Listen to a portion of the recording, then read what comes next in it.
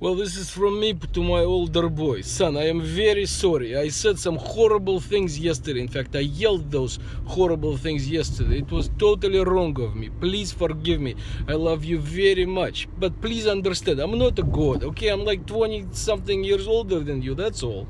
Okay? Like, there is no rule book. You're first time son, I'm first time father, okay? It's not like I know what I'm doing. I'm just trying my best, Kira. It's like in the Bible. It's, uh, what is it? The blind leading the blind which in our case is the you know the unprepared leading the stubborn okay? I'm very sorry. It was wrong of me to call you names and yell and uh, my wife now probably wants to divorce me or something but that's a separate apologies and i don't know two weeks on the couch.